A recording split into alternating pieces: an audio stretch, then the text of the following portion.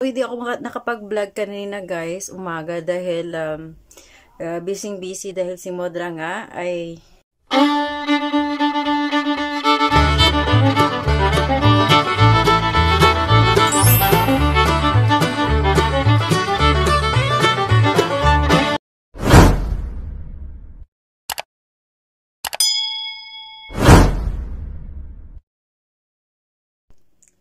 So, welcome to Pinahinis Kiss here again. Ayan, guys. So, hindi ako nakapag-vlog kanina, guys, umaga dahil um, uh, busy-busy dahil si Modra nga ay na ano, tawag nito, na operahan.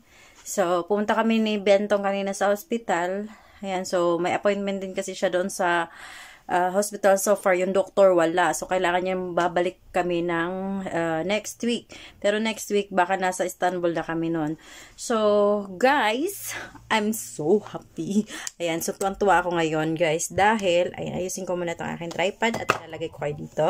Para makapagkwentuhan tayo na maayos. So, ayan kita yung ulo ko. So, anyway, kasi yung, yung isa kong tripod ay nasa Istanbul, iniwan ko. So, ayan. So, nagpunta kami ngayon, uh, galing kami ng charge ni Bentong. So, so nag-ikot-ikot kami. Actually, yung kape na yan, ayan, so may nakita pala akong kape. Ayan, so naubusan na kasi ako ng kape yung galing sa Pilipinas, yung organic coffee. Dahil hindi ako pwede uminom ng Nescafe Gold or Nescafe Classic, yung mga basta Nescafe in a coffee bean na ano na kape dahil nagpapalpitate ako. So, kailangan ko ng herbal coffee or organic coffee or yung corn coffee. So, ngayon guys, naka, nakahanap na ako ng kape sa wakas. Yung nag, na, tinikman ko siya, tapos binasa ko yung, ano niya, ano yung, la, anong meron sa loob nun, kasi may English siya, Arabic, tsaka Turkish. So, ang sarap ng kape. Akala ko may gatas siya, pero wala siyang gatas. So, ipapakita ko sa inyo, share ko sa inyo. So, yung, dahil, ang problema kasi sa akin ay, pag uminom ako ng um, coffee bean, nagpapalpitate ako. Or yung parang yung coffee na parang Nescafe mga ganun hindi ako pwede noon dahil um uh, di ko ba di ko alam malakas ako magpalpitate. Pag yan ang nainom ko umaabot ng 5 hours to 6 hours yung palpitation ko.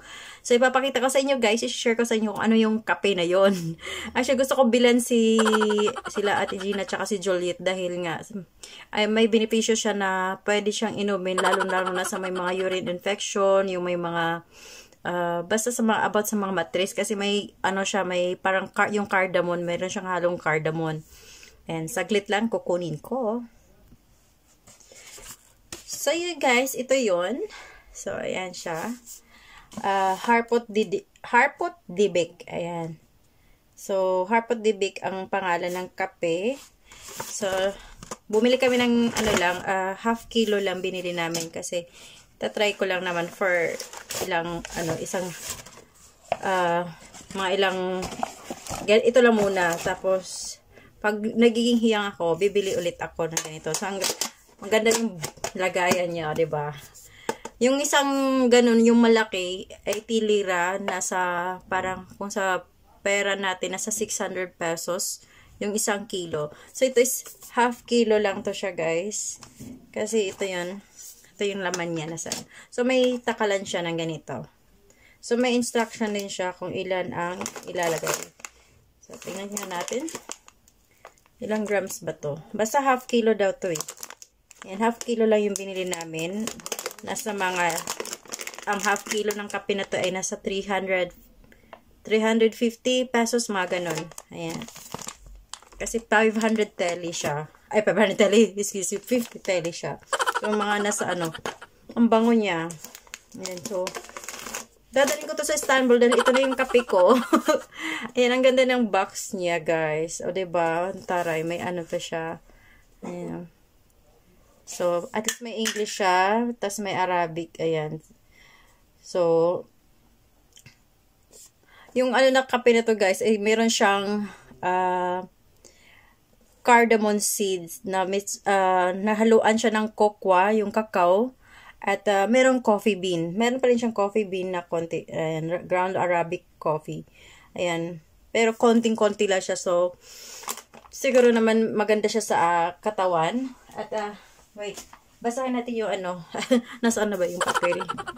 meron dito ano, about health benefits niya sa kape na yan. So, kumuha kami ng ganitong brochure. Ayan. So, ang pangalan is ito. Dibic Coffee. Dibic, ang ngalan is Dibic Coffee. Ayan. So, cardiac health benefits include gastroin, gastrointestinal, ah, gastrointestinal protection, cholesterol control, cancer control, relief from cardiovascular problems, and improve, improvement of blood circulation in the body. It is useful to, in the treatment of dental diseases and urinary tract infections such as cystitis, nephritis, and gonorrhea. Hmm. Cardamom has um, aphrodisiac, af aphrodisiac, ayan, properties. Ayan, 'di ba? So, maganda yung ano niya, benefits niya, guys. So, makakatulong siya sa sa akin. So, sana hindi ako mag ano, magpalpitate kasi sinabi dito sa mga cardio cardio, 'di ba? Araw, uh, uh, hindi naman ako talaga nurse or ano, basta uh, may alam lang ako konti about sa mga sa konting sa mga heart heart diyan kung anong bagay sa atin ng mga gamot-gamot kasi sa tagal ba naman na lagi ako nagpapalpitate. So, syempre, nag-research na ako kung anong mga hindi pwede sa akin at yung sinabi ng doktor sa akin na bawal sa akin na uminom. So, hope itong kape na to guys, kung sino may problema dyan sa mga heart problem, mga palpitation, ayan, try nyo to. I'm not sure sa Pilipinas, pero uh, dito sa Turkey. dito sa Turkey lang yan. Ayan, pero meron din to sa Saudi kasi may Arabic siya eh. So, di ko lang alam kung ano ang um, pangalan ng ano sa, ah, meron siyang website. Ayan. So, lalagay ko yung, ano, hindi to sponsored, guys. Isi-share ko lang para din makahelp ako sa iba na gustong-gustong uminom ng coffee, pero hindi makainom ng coffee dahil may problema sa kanilang mga puso, sa mga ganyan. Parang ako. So, isi-share ko, lalagay ko yung link ng ito. Lalagay ko to sa, ano, sa baba yung ano nila website para ma-search nyo kung meron ba ganito sa sa lugar nyo kung saan man kayong country.